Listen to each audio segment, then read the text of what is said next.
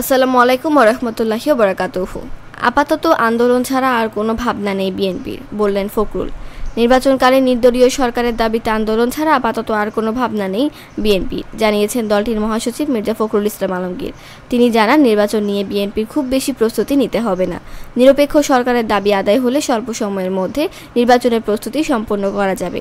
নির্দলীয় সরকারের দাবি আদায়ের পর তত্ত্বাবধায়ক সরকারের ফর্মুলায় যোজন বিয়োজন হতে পারে বলে জানান বিএনপি মহাসচিব। নির্বাচনের বাকি আর মাত্র দেড় বছরেও বেশ কিছু সময় এরই মধ্যে উত্তপ্ত হয়ে উঠেছে রাজনীতির মাঠ। আওয়ামী লীগ বলছে, বর্তমান সংবিধান অনুযায়ী দলীয় সরকারের অধীনে অংশগ্রহণ ও সুষ্ঠু নির্বাচন হবে।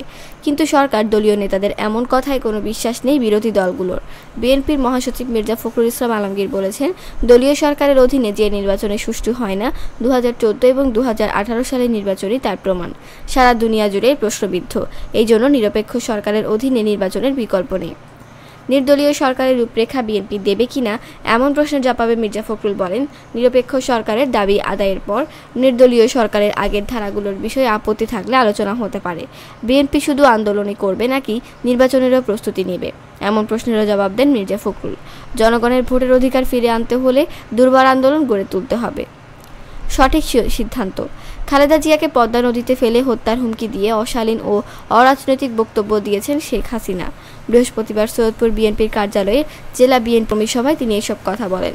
তিনি আরও বলেন, নির্বাচন ও বিচার বিভাগকে এই সরকার দলীয়করণ করেছে। বিভিন্ন আইন নিয়ে বিরোধী দলের নেতাকর্মীদের বিভিন্ন মামলায় জড়ানো হচ্ছে। দেশের অর্থনীতিকে ধ্বংস করে দিচ্ছে। ফলে টাকার মান কমে যাচ্ছে। এই সরকার বাংলাদেশকে লুটের জায়গায় পরিণত করেছে।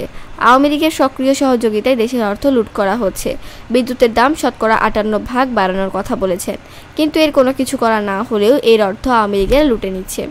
বিএনপি মহাসচিব মির্জা ফখরুল ইসলাম আলমগীর বলেছেন, এই সরকারকে পদত্যাগ করে নিরপেক্ষ নির্দলীয় সরকার গঠন করে ভোটের মাধ্যমে পার্লামেন্ট গঠন করতে হবে। দেশে ভয়াবহ অর্থনৈতিক সংকটে শ্রীলঙ্কার মতো অবস্থায় আমরা আছি। এখানে কথা বলার স্বাধীনতা নেই। কথা বলে মিথ্যা মামলায় জড়ানো হয়। আমাদের ভোটের অধিকার হরণ করে নিয়েছে, ভোট আগেই হয়ে যায়।